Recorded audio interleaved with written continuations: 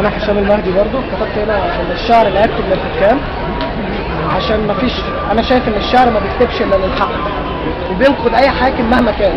وعشان إحنا في بلد ديمقراطية لازم الشعر لازم الشعر ياخد وضع أكتر من كده ويحكم أي حد مهما كان. ولازم الكلام يبان. ولازم الحق برضه يبان. وطبعا أنا بقول هنا إن الشعر لا يكتب للحكام ولكن الشعر البداية التاني أخيرا يا شعب كلمتك بقت فوق النظام النهارده مصر في فرح ومش عايزين نغير الكلام. أنا هفضل صح ومش هنام.